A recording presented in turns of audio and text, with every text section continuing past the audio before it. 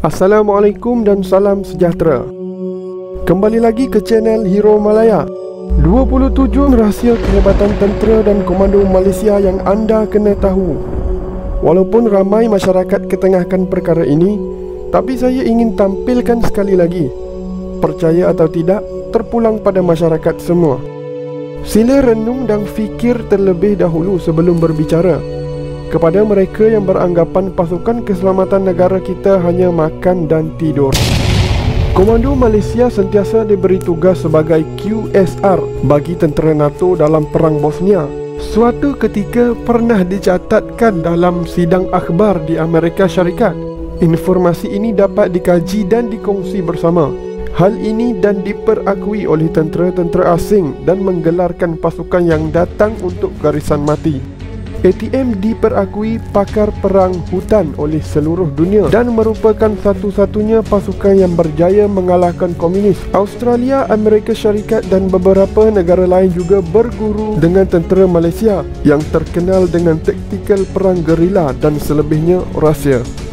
V69 dijulang sebagai komando terbaik dunia sehinggakan pasukan ini didokumentarikan oleh Asia Channel. V69 adalah salah satu dari pasukan khas bagi PDRM. Perisik Malaysia sama ada PDRM atau ATM merupakan perisikan antara yang terbaik di dunia.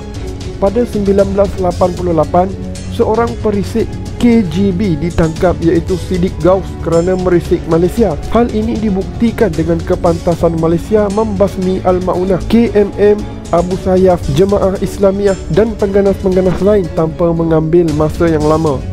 ATM dianggap pakar dalam mengubah suai dan pakar integrasi oleh negara luar dalam hal teknologi. Sebagai contoh, MiG-296 Malaysia satu-satunya pesawat tempur yang memiliki peluru berpandu dan ranking pertama hingga 22 pemandu pesawat tempur dalam anggota TUDM walau hanya menggunakan pesawat buruk tersebut.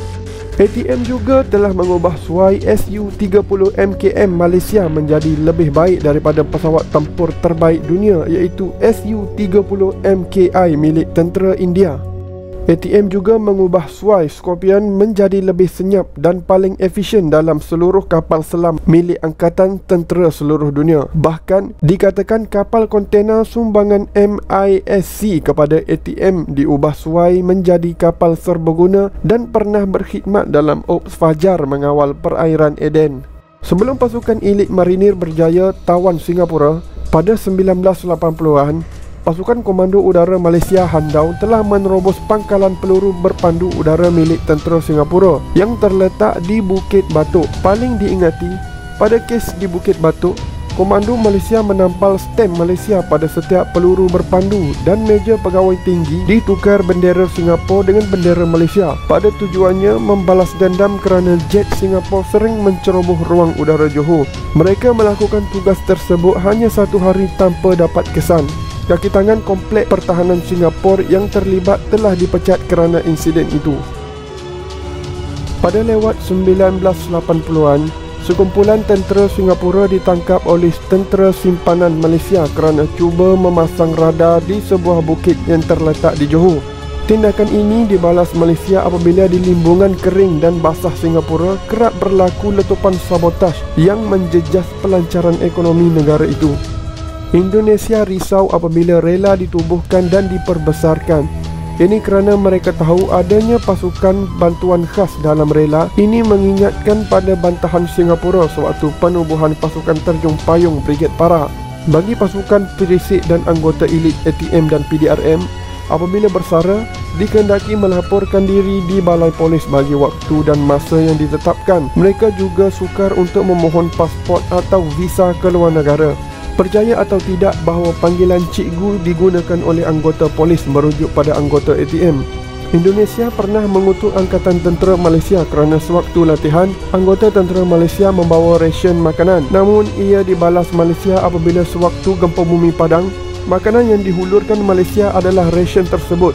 Pasukan elit pertama Malaysia merupakan Sarawak Ranger dan ini merupakan pasukan paling awal sebagai pasukan elit dari negara-negara di rantau ini. Pasukan ini juga pernah menumpaskan pengganas komunis dan semasa kontroversi Malaysia-Indonesia.